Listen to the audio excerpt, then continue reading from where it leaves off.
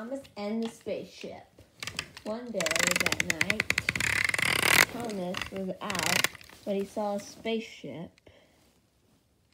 It's cinders and ashes. It's so awesome. So, so he was up all night or something. Then maybe he got too tired after doing his job all night. The end.